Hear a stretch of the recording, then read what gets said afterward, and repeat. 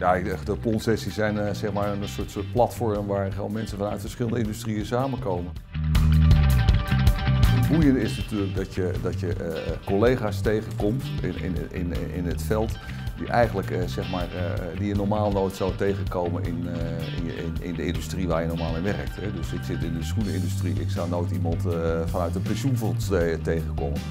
Eh, toch was hij hier vandaag en had hij een eh, hele leuke opmerking over, eh, over mijn tak van sport. Wat heel erg belangrijk is, is van Wieler is dat zij zowel de businesskant als ook gewoon de IT-kant verstaan. Dus een sparringpartner zijn in het ontwikkelen van een soort business IT-model, daar is Wieler denk ik heel erg goed, goed in.